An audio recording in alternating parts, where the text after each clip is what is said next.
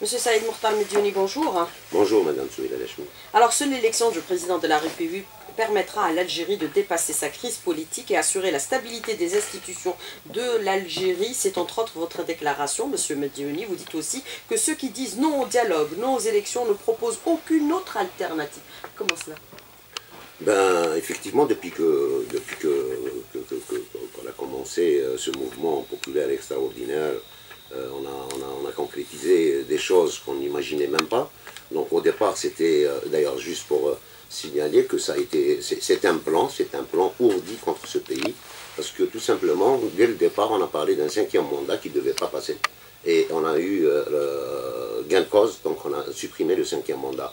Après, on est passé euh, aux élections du 4 juillet, si vous vous rappelez.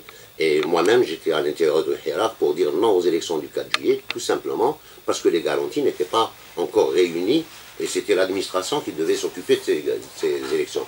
Par la suite, on est passé à un panel de dialogue qui a appelé toutes les parties concernées pour qu'il y ait un dialogue constructif à l'effet de, sortir avec une commission qui présidera aux élections. Cette commission euh, a, vu le jour c'est une commission indépendante euh, qui est autonome dans son financement, dans sa, dans sa, dans, sa gestion, dans ses textes pour, euh, pour organiser des élections. Euh, la sortie de crise, elle ne peut être que par les élections, parce que par le passé, nous avons aussi essayé des périodes de transition dans la douleur, dans le sang, chose qu'on ne veut pas que ça se reproduise, parce que je, reprendrai un mot du général Giap, qui avait dit un jour que l'impérialisme était un mauvais élève qui n'apprenait pas les leçons. Donc si on n'apprend pas les leçons du passé, on ne pourra pas avancer. Et on a eu des leçons douloureuses par une période de transition qu'on ne voudrait pas revivre. Donc aujourd'hui, les choses sont là, il y a des candidats, et tout le monde devait se présenter comme candidat. Donc pourquoi les gens ne le font pas et pourquoi ils ne proposent rien en contrepartie? Qu'est-ce qu'ils proposent? Ils proposent une période de transition, c'est-à-dire des désignations. Le temps des désignations, il est révolu. Aujourd'hui, celui qui veut présider aux destinées de ce pays doit passer par les urnes. Mais quels sont selon vous les risques de la période de transition? Ben, Les risques de la période de transition, c'est que c'est un tunnel euh, dans lequel euh, on rentre et on ne sait pas quand est-ce qu'on sort, avec toutes les dérives que cela, que cela présente. Et, la période, on l'a vécu. Il y a des pays euh, à côté qui ont essayé cette, cette période de transition. vous avez la Libye, c'est un pays qui s'en sort pas. Il est divisé actuellement par des antagonistes qui viennent de par le monde, d'accord? Et je ne voudrais pas que mon pays vive la même situation. Mais est-ce que ça pourrait être similaire à ce qu'on a connu par le passé, durant les années 90, M. Medioni? Effectivement, et c'est ça, pour cela que l'armée nationale populaire, par son expérience, a insisté dès le départ à ce qu'on reste dans la constitutionnalité des choses. Avoir été, euh, euh, d'être resté dans la Constitution, ça nous a permis d'abord d'être un État qui est écouté, parce qu'on a des institutions qui sont encore debout, on a une économie qui fonctionne malgré toutes les difficultés, on a des décisions qui ont été prises en faveur des couches défavorisées, euh, alors, alors, que euh, dans, en pleine crise politique, ceci n'aurait pas été possible, mais il y a des institutions qui fonctionnent, donc rester dans la Constitution, ça nous a sécurisé pour trouver le chemin le plus sûr.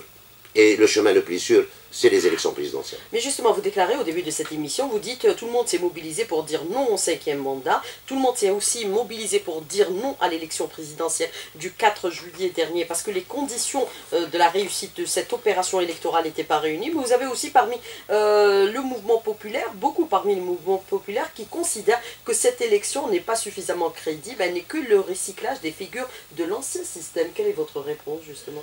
Vous savez, on se fixe sur certains noms, sur certains candidats, mais moi je pars du principe que euh, l'élection présidentielle était ouverte à tout Algérien qui remplissait les critères euh, d'être euh, éligible. Et le problème, c'est que des gens n'ont pas voulu se présenter. Donc, ceux qui n'ont pas voulu se présenter, alors qu'ils ont été sollicités et qui prétendent avoir la majorité, donc la majorité qui, ont le soutien du Hirak, parce que la majorité, on est un peuple de 42 millions et on est 23 millions d'électeurs. Donc euh, je défie quiconque qui pourra me dire quelle est la majorité. Le seul mécanisme qui peut déterminer une majorité, c'est les urnes. Et ça, c'est les pratiques démocratiques dans les États modernes. Donc aujourd'hui, ces gens-là qui n'ont pas voulu se présenter dans les élections, ils vous parlent qu'il n'y a pas que, que c'est des candidats du système. Ben, c'est au peuple de les éliminer à travers les urnes. S'ils pensent que c'est des candidats du, du système, c'est seule la pratique démocratique qui pourra déterminer quel est le candidat qui présentera le mieux les revendications du Hera. Et c'est ça le plus important, parce que l'élection présidentielle en soi n'est pas, pas la solution, c'est le début d'une solution, c'est tout ce qui va venir par la suite, et c'est de grands chantiers qui pourront changer la vie des Algériens. Mais euh, pour ceux qui par exemple, parmi les candidats qui se prévalent et déclarent être candidats de l'institution militaire, pourtant il y a eu à plusieurs reprises l'engagement euh, de l'armée de ne pas interférer dans le processus euh, électoral. Il y a eu même cette déclaration dans l'édito d'El on se souvient tous, que l'ère de la fabrication des présidents de la République est révolue. Pourquoi certains candidats essayent de faire croire qu'ils sont les candidats de l'institution militaire malgré ces multiples rappels et déclarations?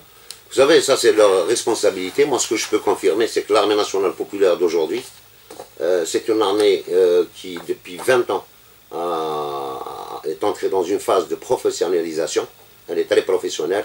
Elle s'est retirée de la politique et il n'y a aucun candidat de l'armée. Donc celui qui prétend être le candidat de l'armée, il prend ses responsabilités.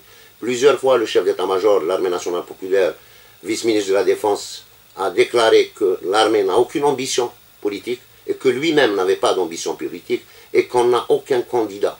Nous, le plus important euh, pour l'armée, ce qu'il avait dit, c'est qu'il y ait un président qui aime ce pays, qui aime ce peuple. Donc l'armée n'a pas de candidat. Ça, je peux le confirmer. Est-ce qu'on peut considérer que partant de ces déclarations, seule l'élection présidentielle permettra aujourd'hui de, de, permettra à l'Algérie d'éviter une crise euh, institutionnelle et une crise politique? Nous souhaitons à ce qu'il y ait des élections propre et transparente pour pouvoir sortir de cette crise et construire une Algérie forte pour demain. Vous dites que nous souhaitons, ce n'est pas le cas Moi je pense que les élections seront, seront, seront transparentes, ça je n'ai aucun doute.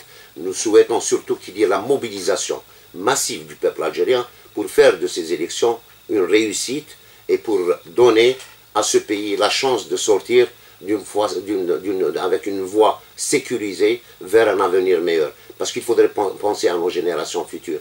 C'est l'Algérie de demain qu'on doit construire, qui est très importante, qui doit être au-dessus de tout le monde.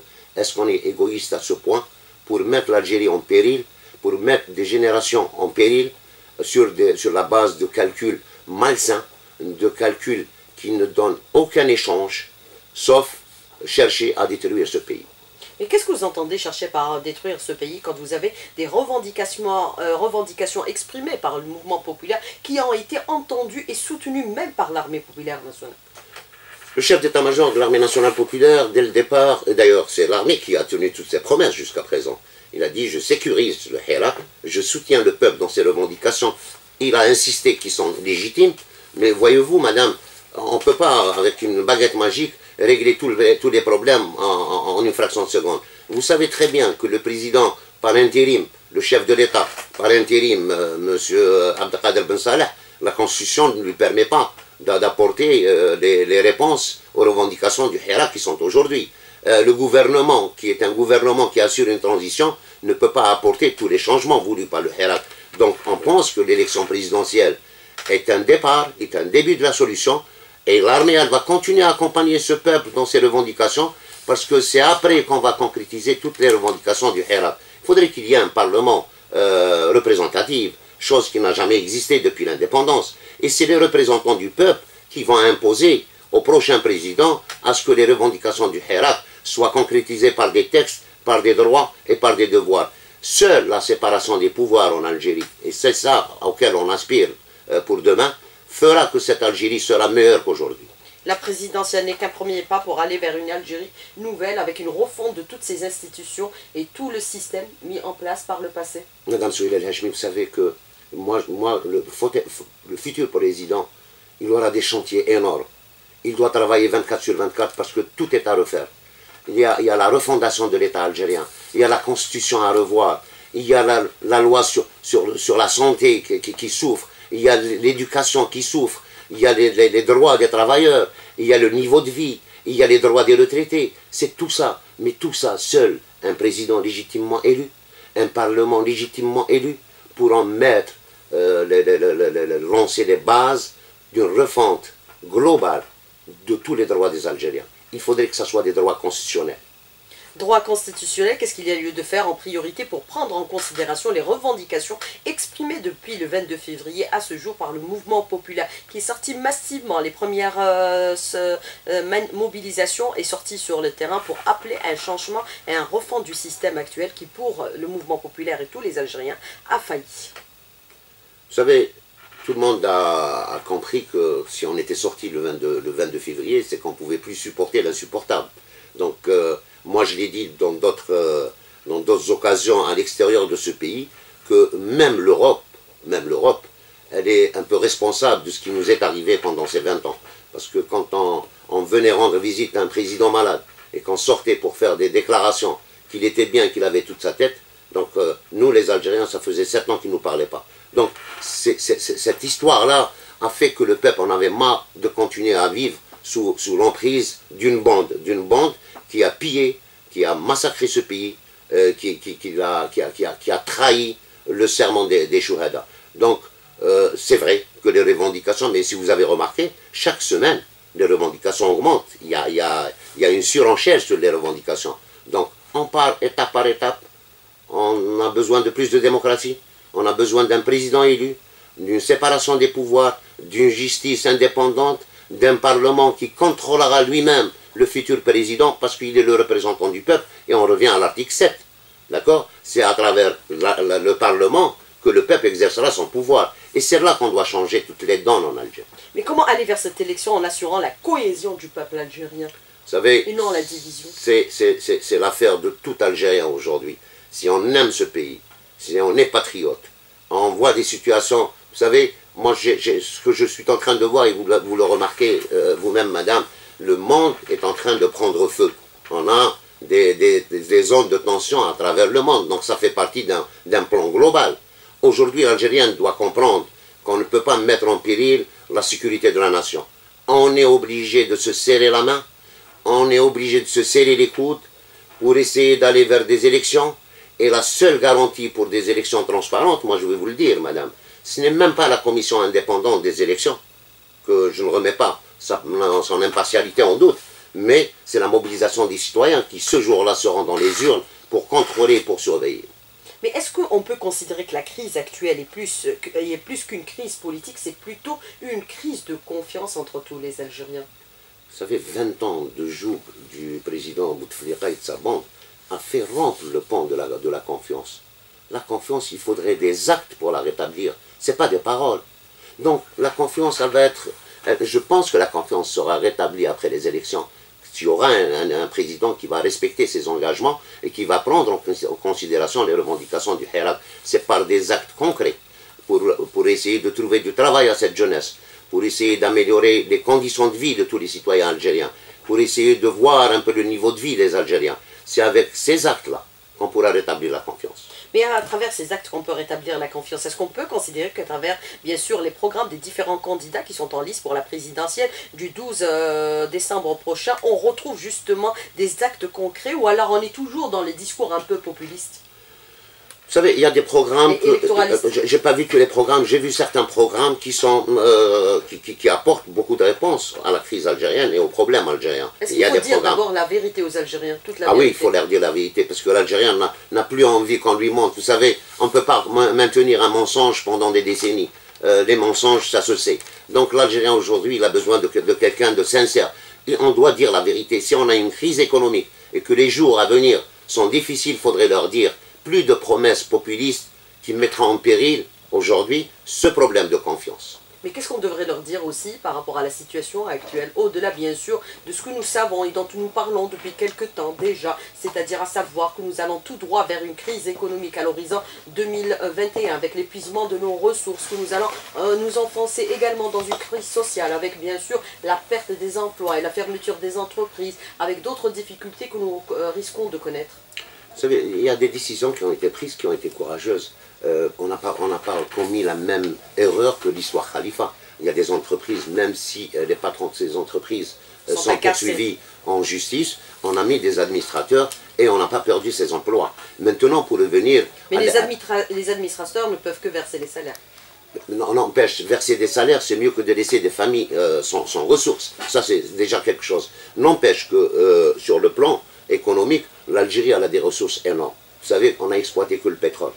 On a compté toujours sur ce pétrole, alors qu'on a beaucoup de choses à mettre en valeur et ça peut donner de l'emploi à tous les Algériens. L'Algérie, elle peut être développée d'Alger jusqu'à Tamanrasset. On a ces moyens. Ils sont dans notre sous-sol. On n'a pas eu de management. On n'a pas eu les hommes qu'il fallait. Mais sinon, la richesse de l'Algérie sont inépuisables. On a une jeunesse qui ne demande qu'à travailler. Il faudrait justement le candidat de demain qu'il met son programme euh, sur la base de ce que demande ce peuple à travers ses revendications du 22 février. Alors, euh, monsieur euh, Saïd Mourtal Medjouni, je voudrais revenir avec vous sur ce qu'on a déclaré dans la première partie de l'invité de la rédaction. Euh, nous avons cette déclaration du chef d'état-major de l'armée qui appelle les Algériens à se mobiliser en vue de cette élection présidentielle. Il affirme qu'il n'y a aucune ambition politique qui motive aujourd'hui cette décision, que nous n'avons aucune ambition politique et nos objectifs ce ne sont autres que nationalistes, des objectifs pour, que, pour le bien de l'Algérie et de son peuple. C'est important cette mobilisation. Se réfère à cette déclaration aujourd'hui, est-ce qu'on peut considérer que si on continue encore, on risque d'avoir des difficultés énormes? Vous savez, toute chose qui dure produit des effets euh, qu'on ne voudrait pas vivre. Ça dure depuis pratiquement 8 à 9 mois. 8 à 9 mois sur le plan économique, sur le plan social, sur le plan des tensions. Vous savez que le Hirak du départ, ce n'est plus le Hirak d'aujourd'hui. Euh, qu'on le veuille ou pas, il y a des noyaux qui sont en train de, de, il y a des groupes qui sont en train de noyauter le Hirak avec des, slogans, moi qui me rappelle euh, des slogans des années 90, et ça, ça me fait peur. Donc euh, aujourd'hui, qu'on soit, soit sincère, qu'on regarde les choses en face.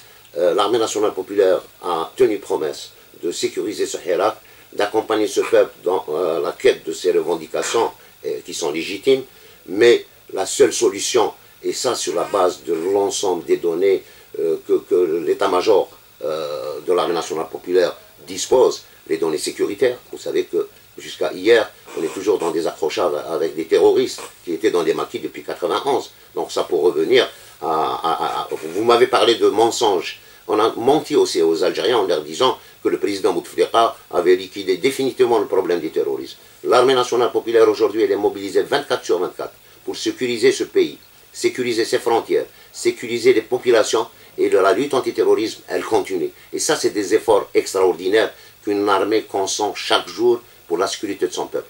La sécurité du peuple, elle passe par des élections, parce que si on fait perdurer cette crise, il y a des dérapages. Moi, quand je vois aujourd'hui, Mme Souila El-Hashmi, euh, des, soi-disant hirakistes poursuivre des candidats, les empêcher de tenir leur meeting, poursuivre des comités de campagne, les chasser, utiliser de la violence, ça c'est antidémocratique. Et le Hirak a été un mouvement pacifique, démocratique, qui revendiquait plus de démocratie. Donc, évitons ces actes, parce que chaque Algérien a le droit de ne pas voter, comme chaque Algérien a le droit d'aller voter. Et nul n'a le droit d'interdire à l'autre. Est-ce que, jusqu'à présent, l'armée ou l'État a interdit euh, aux manifestants de faire leurs manifestations le vendredi, le mardi, et pratiquement, il y a des fois tous les jours? Non. Alors, pourquoi interdire des campagnes électorales? Pourquoi poursuivre des, des comités? Ça, c'est des actes qui sont antidémocratiques et c'est aux gens du Hirak d'interdire ce genre de comportement. Mais est-ce qu'on peut considérer aujourd'hui, partant bien sûr de cette violence, la violence verbale peut aussi engendrer la, euh, la, euh, la, violence euh, physique, puisque vous avez cette déclaration de M. Belhid, candidat à la présidentielle, qui dit « Arrêtons de nous insulter mutuellement, les insultes ne portent pas des solutions, il faut négocier et discuter pour trouver des solutions ensemble ». Vous savez, Mme Soulal Hachmi, dans tous les conflits du monde, on s'insulte, on s'entretue, mais on finit toujours par avoir un dialogue et avoir des solutions. Et se terminer par des élections. Donc pourquoi aller dans l'invective contre des gens? Pourquoi toucher à la dignité des gens? Pourquoi aujourd'hui il y a des gens qui sont à l'extérieur, qui ne sont même pas en Algérie, qui déversent une haine et du venin sur l'Algérie? Pourquoi salir des gens alors que la solution, elle est toute simple? C'est une solution moderne d'un État moderne. C'est les élections présidentielles. C'est le début d'une solution. Le président, lui tout seul, ne pourra rien faire. Avec cette constitution, il est dangereux encore pour les Algériens. Donc il y a la constitution à changer. Et seul un président et des structures élues pourront changer les choses. Donc, si on dit que si on ne fait pas les élections, on risque d'aller dans des situations euh, qui, qui peuvent déraper, parce qu'on voit des comportements qui sont étranges à l'Algérien aujourd'hui, mais ça nous rappelle des années qu'on ne voudrait pas le vivre. Mais quelles sont les conséquences de l'échec éventuel de l'élection présidentielle? Moi, je sais qu'il n'y aura pas d'échec d'élection présidentielle. Je suis même très confiant parce qu'on discute avec le peuple, avec les mamans, avec les pères de famille, tout le monde, tous les gens qui ont vécu une période difficile, qui a vécu l'Algérie toute seule, elle était à l'isolement sur le plan international, ont besoin que cette Algérie soit stable et prospère pour, pour leurs enfants. Alors, vous avez déclaré tout à l'heure, euh, au début de cette deuxième partie, que des groupes euh, qui noyautent le Hirak. Qu'est-ce que vous voulez dire exactement par là? Et qui sont ces groupes? Auxquels vous faites référence. Vous savez, vous savez, le Hirak... Est-ce que tout le monde les voit. Euh, tout le monde, bon, vous savez, on regarde les mêmes vidéos, ils sont visibles, ils sont visibles dans leur, dans leur tenue, dans leur slogan. Vous savez, les mêmes personnes qui ont attaqué l'armée un certain temps, c'est les mêmes personnes. Pourquoi on a commencé le Hirak avec Jish Khawa Khawa? On a demandé à l'armée d'intervenir pour l'application de l'article 102, chose que l'armée a, fait pour demander à ce que l'article 102 soit. Et pourquoi ce slogan de armée Khawa Khawa a disparu? Parce que tout est planifié, Madame Souhila Lajmi. Aujourd'hui, les attaques contre l'institution militaire, c'est fait par des groupuscules qui sont à l'intérieur du Hirak.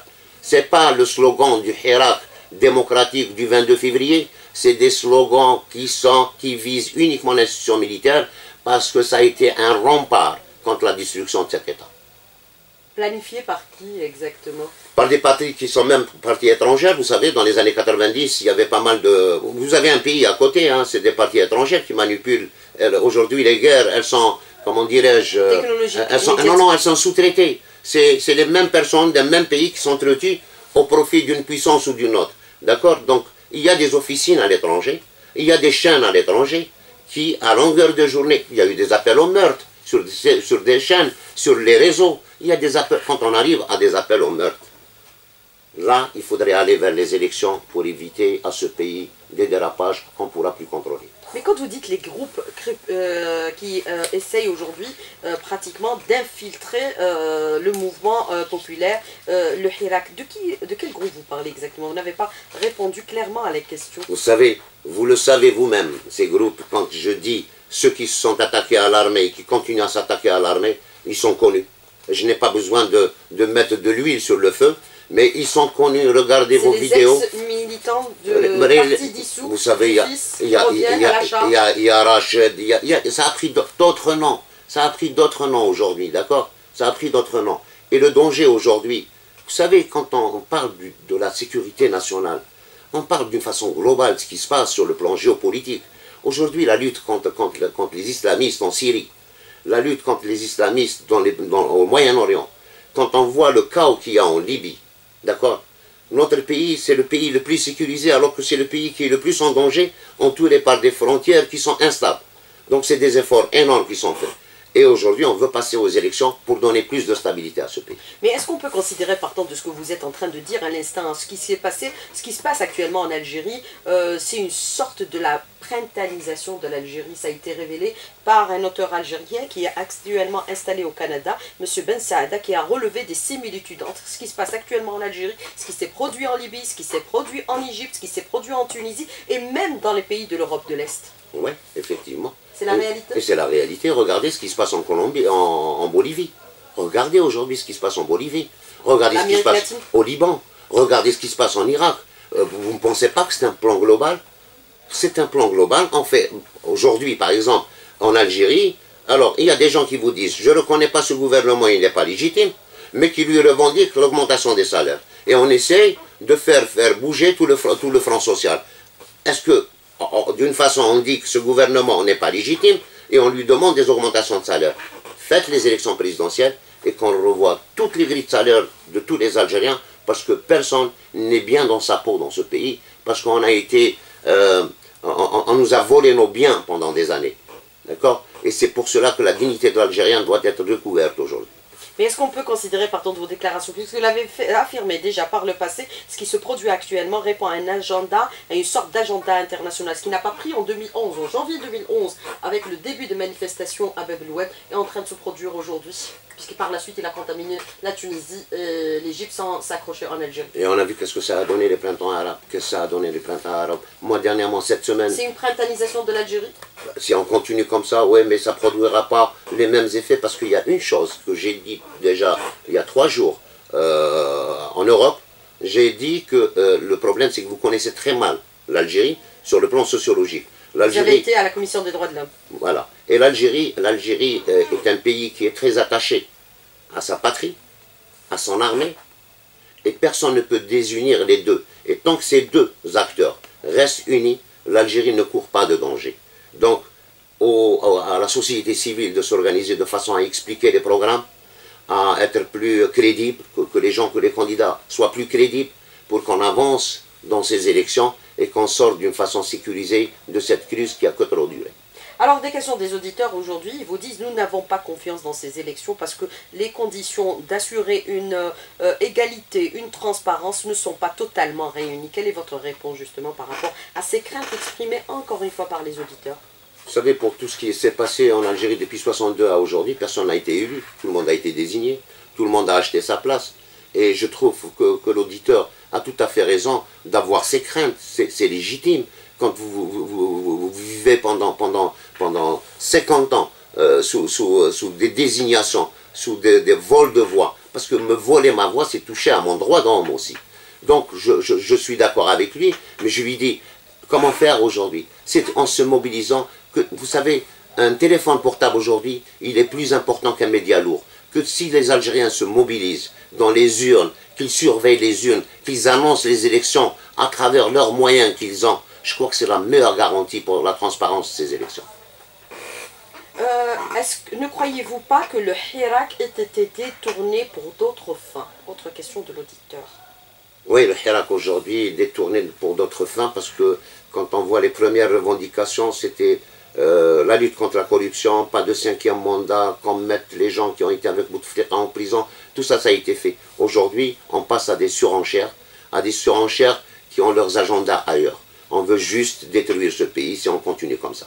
Alors pourquoi ne pas avoir opté pour une période de transition au lieu d'aller vers une présidentielle, une transition qui permettrait euh, de mettre en place tout euh, le, dispositif réglementaire et juridique pour assurer une élection libre et transparente dans les deux et voire trois années, euh, les trois prochaines années? Vous savez, madame, je, sais Pourquoi pas, la transition? je ne sais pas quel âge a votre auditeur. Bon, certainement, il n'a pas dit son âge mais pour les gens qui ont vécu la période. Pourquoi l'armée n'a pas appliqué l'article 7 et 8 et se retiré de la scène en donnant le pouvoir à Ben Bitour et Talib Ibrahimi pour gérer une période de transition, pas moins de 3 mois, ou euh, à qui peut aller jusqu'à 3 ans Vous savez, je ne sais pas l'âge de votre auditeur, mais je le dirais tout simplement, celui qui n'a pas vécu la période de transition en Algérie, euh, il, ne peut pas comprendre pourquoi on rejette cette période de transition et pourquoi Ben Bitour et pourquoi Talib Ibrahimi, pourquoi on désigne toujours des gens dans ce peuple, 42 millions, il y a des, il y a, il y a, des gens magnifiques. Il faut passer par les urnes. On ne désigne plus. Et la période de transition, c'est pour faire quoi? Pour aller aux élections? Eh bien, qu'on aille aux élections, pourquoi on fait une période de transition? Alors, autre question de l'auditeur qui vous dit aujourd'hui, comment vous dites que c'est par les urnes seulement qu'on pourra euh, éliminer ce qu'on considère aujourd'hui comme étant le recyclage de l'ancien système? Ben oui, si on n'a pas envie de voter pour un candidat qu'on pense qu'il est le recyclage de l'ancien système, qu'on aille aux urnes, qu'on ne lui donne pas notre voix. C'est ça la pratique démocratique. Alors quand vous dites aujourd'hui, par exemple, la situation de l'Algérie est extrêmement vulnérable euh, sur nos frontières, la lutte euh, contre le terrorisme est toujours euh, maintenue, est-ce que ce n'est pas une volonté de votre part de faire peur aux Algériens?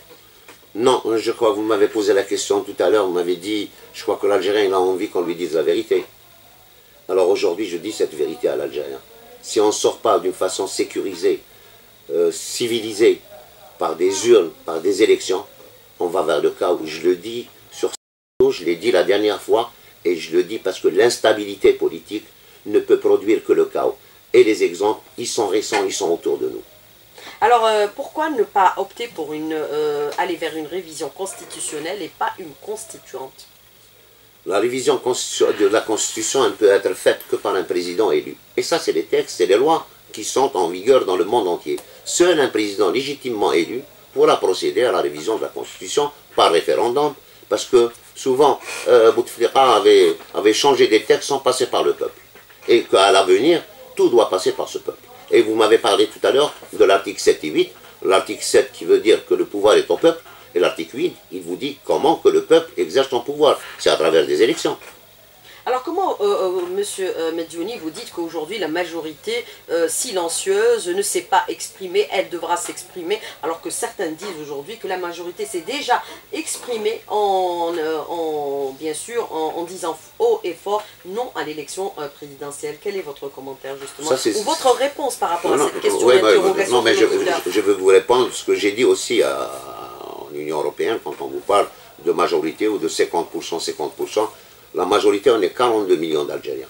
On est 23 millions d'électeurs. Euh, si quelqu'un peut me fournir un chiffre qu'il y a 23 millions qui sont dans les rues chaque vendredi, qu'il avance avec ces chiffres. La majorité, c'est tout un peuple. Et c'est les urnes qui vont déterminer la majorité. C'est pas parce qu'on sort dans la rue qu'on pense qu'on est majoritaire. L'Algérie, elle est grande et le peuple est, euh, est très conscient du danger qui guette ce pays. Donc, il y a une majorité peut-être silencieuse qui va se prononcer sur la base des programmes et de la campagne électorale. Alors, euh, vous parlez un peu euh, de l'Union européenne par rapport à ces interventions. Vous avez eu à répondre sur cette question dans une interview qui va être diffusée, euh, je pense, si ma mémoire ne fait pas défaut, demain. Demain donc demain. Et là, vous avez apporté certaines clarifications en disant l'Algérien n'aime pas qu'on interfère un peu dans ses affaires euh, internes. Mais est-ce que vous pensez qu'il y a réellement aujourd'hui euh, interférence ou, ingérence des partis étrangères dans ce qui se produit actuellement en Algérie? Vous savez, euh, beaucoup d'ingérences se sont produites dans, le monde et des fois c'est officieux, ce n'est même pas officiel. Hein, D'accord? On se rappelle de, la Libye, on se rappelle de la Libye, c'était Bernard-Henri Lévy qui a été euh, manipulé euh, Benrazi, d'accord, si vous vous rappelez bien, qui a fait aussi, a pris son bâton de pèlerin pour aller chez les Kurdes en Syrie, d'accord, pour demander. Euh, donc voilà, la manipulation, elle y est. Ce pays attire les convoitises. Ce pays qui est jaloux de sa patrie a beaucoup d'ennemis, d'accord, et on doit être vigilant et faire attention à notre pays et à nos enfants. Alors, euh, autre question de l'auditeur, il dit Monsieur, je suis un citoyen algérien, je n'ai pas confiance en ces candidats, tous issus du régime. Le président est-il déjà désigné et connu? Quand aurons-nous un vrai président légitime? Seule la mobilisation des Algériens et une prise de conscience de la, de la société et avec des parlements élus pourront changer les choses en Algérie. Moi, je pense qu'aujourd'hui, même s'il y a des candidats qui ont fait partie de l'ancien système, on se rappelle de cet ancien système qui était pratiquement un système impérial. D'accord? Personne ne pouvait dire non à M. Bouteflika. Donc aujourd'hui, ces gens-là euh, proposent un programme qui, qui, qui, qui et leur met à culpa, d'accord? Et qui propose un programme réel, réalisable, répondant aux revendications de ce Hirak, eh bien, c'est à nous de faire le bon choix. Alors, euh, autre question euh, de l'auditeur qui vous dit, par rapport à ce que vous dites, euh, les déclarations, il y a eu bien sûr l'intervention de l'Union Européenne sur la question des droits de l'homme. Est-ce qu'on peut considérer que réellement il y a eu des violations des droits de l'homme? Je ne pense pas. Vous savez, quand, en discutant avec, les, Vous savez, il y a les gilets jaunes en France d'accord, qui sont bastonnés, qui sont interdits de, qui sont interdits de manifester. Nous, on nous, a, on, nous a pris un jour sur le fait de fermer Alger. Alors qu'en fermant Alger, c'est une gestion du risque pour essayer de protéger le Héra. On ne peut pas avoir plus de personnes qu'il en faut sur une surface. C'est ça la gestion du risque. Aujourd'hui, quand on ferme, par exemple, les capitales européennes, quand il y a les sommets des G8 contre, contre les altermondialistes, est-ce que c'est une atteinte aussi au... Oui, j'ai discuté de ça en Europe, ils ont reconnu que même l'Europe, commet des atteintes aux droits de l'homme. Regardez en Italie des bateaux remplis d'enfants qui restent en rade en face de Lampedusa et qui meurent de faim. Et ça, c'est une atteinte aux droits de l'homme. Regardez ce qui se passe en Hongrie, en Pologne. Donc, partout, il y a des atteintes aux droits. En Algérie, je ne pense pas qu'il y a des atteintes aux droits de l'homme. En Algérie, aujourd'hui, euh, je ne sais pas quand euh, il y a des dépassements, il y a des dépassements qui sont faits, qui sont condamnés, condamnés par la loi. Je pense qu'il faut laisser la justice travailler sereinement euh, parce qu'on met en relief, par exemple, les gens qui sont arrêtés pour soi-disant un délit d'opinion. Mais on ne met pas en relief les gens qui ont été libérés par la justice, pour, dans, dans les mêmes affaires. Donc il y a une justice qui travaille, qu'on la laisse faire son travail sereinement. Alors, euh, autre question de l'auditeur qui vous dit aujourd'hui, euh, euh, ce qui est relevé, c'est les contradictions entre les déclarations des uns et des autres. Par exemple, les candidats qui sont en lice pour la présidentielle reprennent également les revendications exprimées par le, le. Est-ce qu'il faudrait maintenant trouver les, moyens de mettre en jonction les deux pour qu'ils puissent discuter et dialoguer? Parce que tout le monde promet une démocratie, plus de liberté, l'ouverture un peu des médias, l'expression, assurer une justice indépendante, les droits de l'homme également Effectivement, parce que si on a une campagne électorale qui se déroule dans la sérénité et la sécurité, les débats qui seront animés par ces candidats, s'il y a des gens du Hirak, les gens, c'est des Algériens, parce qu'on est tous du Hirak, la même revendication nous anime tous. Si on participe à ces débats, peut-être qu'on pourra enrichir même le programme des candidats. Mais maintenant, il faudrait que les candidats soient sincères dans leur démarche, plus de promesses populistes ça ne marche plus en Algérie.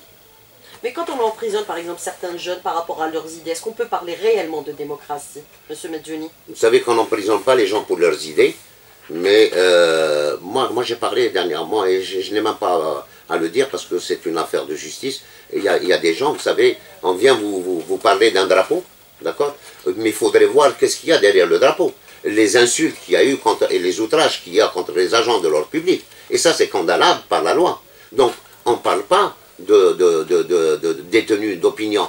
Quand il y a des diffamations qui sont lancées, moi-même je suis victime de ces diffamations. Quand il y a des diffamations qui sont lancées, ça c'est des trucs qui sont punis par la loi. Ce pas des délits d'opinion.